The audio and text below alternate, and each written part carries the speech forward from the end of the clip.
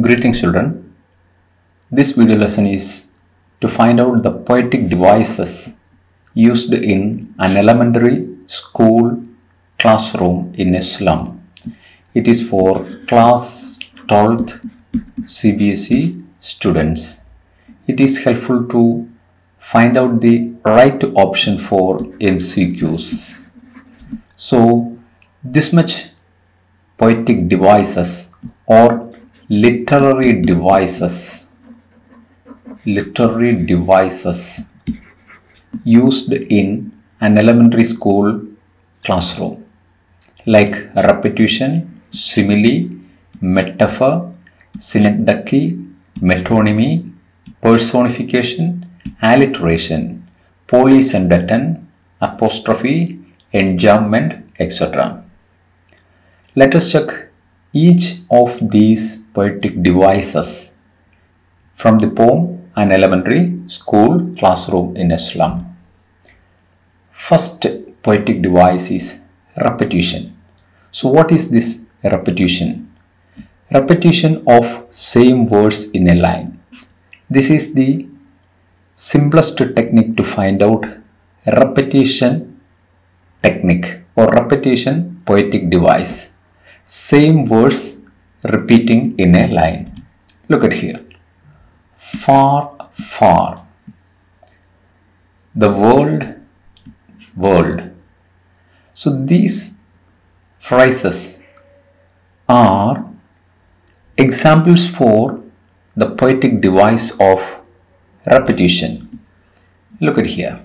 Again, far, far. Break, break repetition of the same word. Next, simile. Simile means comparing things using like or as. It's a poetic device used to compare two things using the linker like or as. Let us check the similes in the poem. Look at the line children's faces like rootless weeds. Here, the children's faces are compared with the rootless weeds. So it is compared with the link word of like. So we can definitely say that this is a simile. Let us check other similes used in the same poem spectacles of steel with a mended glass like bottle bits on stones. So here also the linking word of like is used. So simile is the poetic device. The mended glass or spectacles, specs like the bottle bits. Third place where simile is used is this window that shut upon their lives like catacombs. These windows and that is compared with when it is shut upon them. It is compared with the catacombs, the graveyards. So here also the same poetic device of simile used. Let us move on to the Next poetic device. Alliteration. What is alliteration? Repetition of consonant sounds. Not the vowel sound. If vowel sound is repeat, repeated, assonance. Assonance is the poetic device. But here it is consonant sound repetition of consonant sound in the same line that is alliteration. Let us check the alliteration in the poem. Look at here. Far, far from. The repetition of f sound. So that is a repetition. Than this. To, to. Here also repetition. World, world. Repetition. More you can find far, far from. Surely Shakespeare, that is also alliteration. Ships and sun, same sound. From folk, by bonds, bottle bits, lives like, break, break. All these are examples for alliteration. Simply this phrase can be quoted and asked you what is the poetic device used there. So remember it alliteration. Next is personification. Personification means human characteristics are attributed to non-human things. That is personification. Some human characteristics that will be attributed to non-human things. It may be a thing or animal. Let us check. Civilized dome riding all cities. Riding is a human quality. That quality is attributed to this non-human or inanimous thing. It is called personification. Now let us move on to the next poetic device. Synecdoche. Synecdoche means a part is put for the whole. When a part is put for the whole, we call it synecdoche. For examples, his hands in the murder. Here, hands means his involvement. Hand stands for the whole person. So, that is a synecdoche. Look at the his eyes live in a dream. Here, his eyes actually stands for he himself. It is not his eyes that dreams, but he himself dreams. So, synecdoche is the poetic device or literary device used here. Remember it. Now let us check another poetic device of metonymy.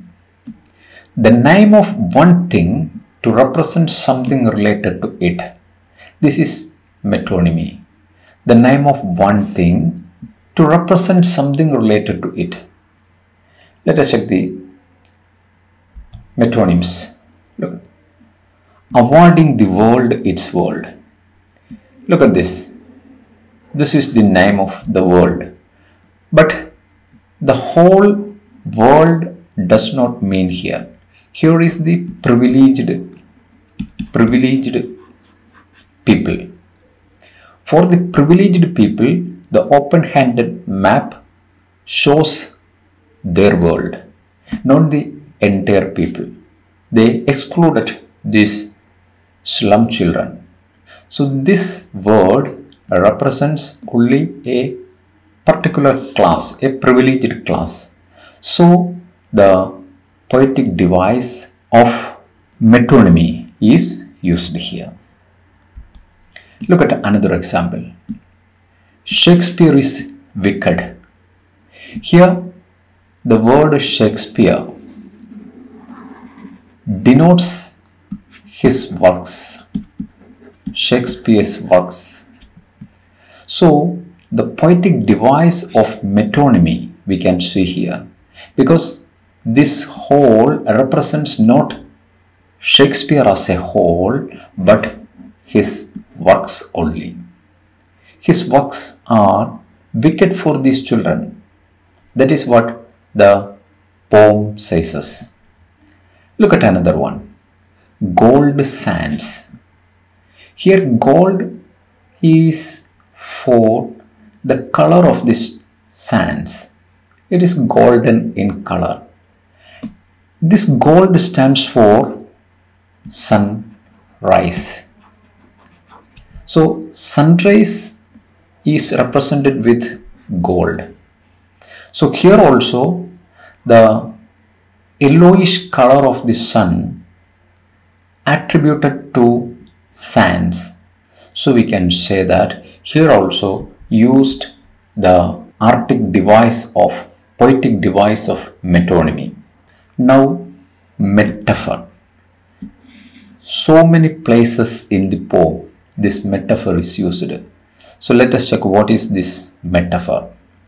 A metaphor is a kind of simile, but without using like or as. It's an object or activity or idea that is used as a symbol of something else. It symbolizes something else, not exactly the object or activity or idea. Let us check the main metaphors used in the poem. Look at that. The paper seeming boy. Here, the paper seeming boy means the weak health of the boy. The weak health of the boy. Health of the boy. Not exactly the paper seeming boy. So, the paper seeming boy is a metaphor. The weakness of his body is represented through the paper seeming Then the standard unlucky heir of twisted bones. This is another metaphor used in the poem. The standard unlucky heir of twisted bones. This symbolizes the inherited disease of his parents. So, this symbol also can be treated as a metaphor. Let us check other metaphors. The narrow street is sealed in with a lead sky. This is yet another metaphor because this narrow street is sealed in with a lead sky symbolizes the covered future of these slum children. Then stars of verse. This is also a metaphor because these children are deprived of good education. So this stars of verse stands for a quality education. Then cramped holes, another metaphor. It represents the slum houses that is the cramped holes. Then slag heap. Slag heap here means the weak and bony bodies of these children. Then foggy slum. It is another metaphor. Foggy slum represents here this children's world is without any hope, without any future that is foggy slum. Then like catacombs, catacombs or graveyards represents the pathetic condition of these children, the slum children, their houses. They are living in such a bad condition. Now let us move on to the next poetic device. Next is apostrophe. Apostrophe means addressing an imaginary audience. Yes, in this poem we can see an apostrophe, the poetic device of apostrophe. Look at this. Break, oh break open till they break the town. Here, the poet invokes the children to break open. So, the children here are the imaginary audience. So, the poetic device of apostrophe is used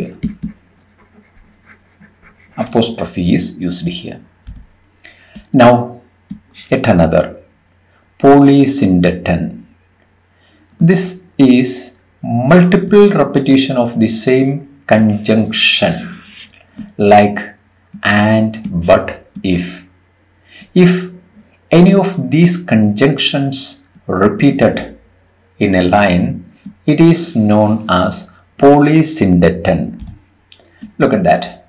With the ships and sun and the repetition of the conjunction and.